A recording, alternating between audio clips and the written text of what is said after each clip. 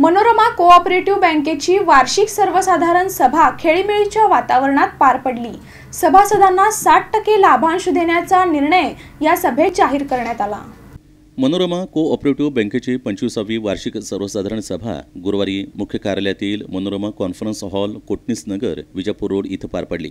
सभेच्या अध्यक्षस्थानी चेअरमन श्रीकांत मोरे हे होते. दरम्यान ही सभा ऑनलाईन घेण्यात आली. प्रारंभी बँकेचे सभासद विजयकुमार फताटे माधवराव गव्हाणे कविता कुलकर्णी यांच्या हस्ते दीप प्रज्वलन करून सभेस सुरुवात करण्यात आली.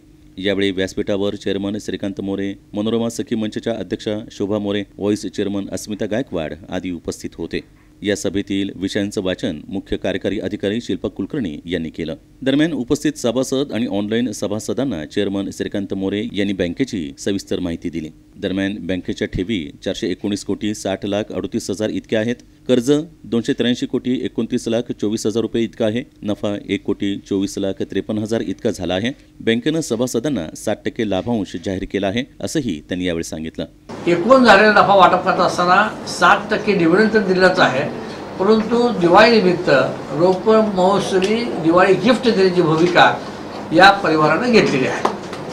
सातत्यानं तीन वर्ष या बँकेने कोरोना कालावधीमध्ये सुद्धा शून्य टक्के एन पी ए ठेवलेला आहे.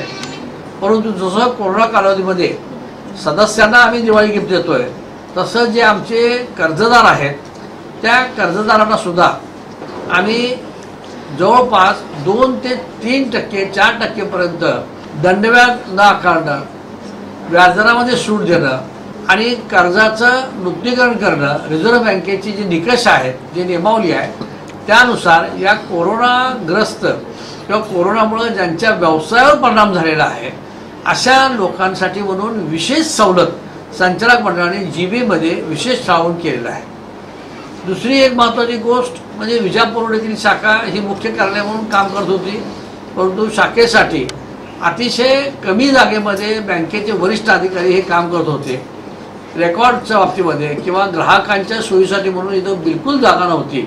अभ्यागत कक्ष कुठल्या पद्धतीचा नव्हता.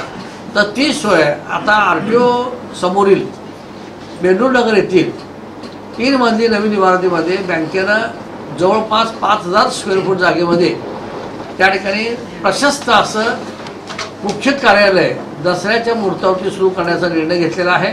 यावेळी उपस्थित सभासदांनी सर्व विषयांना एकमतानं मंजुरी दिली. संचालक रंजना सुरवसे सुनीता पाटील मोहन गायकवाड अभिजित शिंदे उज्ज्वला साळुंखे मनुद्दीन नदाफ सुहास भोसले दत्तात्रय मुळे आदी उपस्थित होते.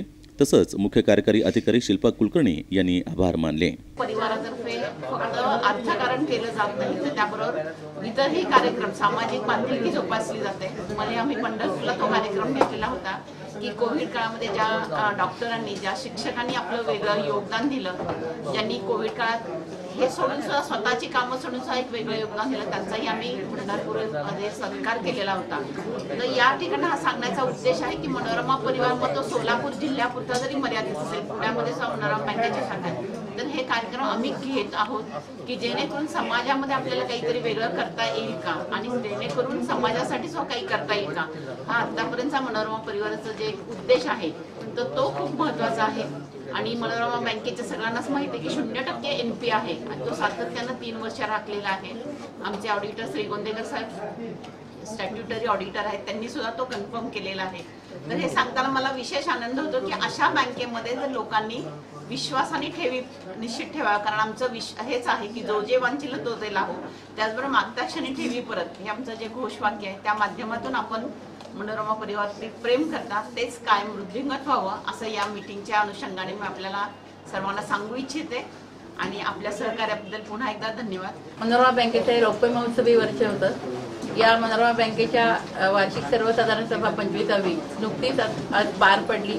अतिशय खेळीमेळीच्या वातावरणामध्ये आमचे मार्गदर्शक आदरणीय श्रीकांतजी मोरे साहेब आणि आमच्या मार्गदर्शिका शोभाताई मोरे यांच्या मार्गदर्शनानुसार आणि आज चेअरमन म्हणून आदरणीय मोरे साहेबांच्या अध्यक्षतेखाली ही सभा पार पडली.